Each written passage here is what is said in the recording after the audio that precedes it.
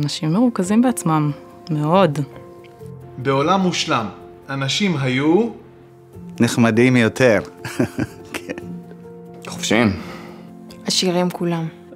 או לא עניים, או חיים טוב. מנסים להבין את האחר. היום למדתי את זה בשיעור. מחייכים כל הזמן. כל הזמן. הם אוהבים אחד את השני, בלי לשנוא. לשבור את העניין הזה של גבולות ומה שלי, מה שלך, ולהחליט שזה שלנו, זה כדור הארץ. בעולם מושלם, אנשים לא היו שופטים אחד את השני על סמך אה, דת, גזע ומין. אבל זה לא היה מגניב, זה לא היה כיף. כאילו, כולם היו אותו דבר, ולא היה לנו את הקהילות השונות, או עדות שונות, וכולנו היינו אותו דבר. אם הייתה אהבה בעולם, יותר מאשר יש היום, אז העולם היה לפי דעתי הרבה יותר מושלם.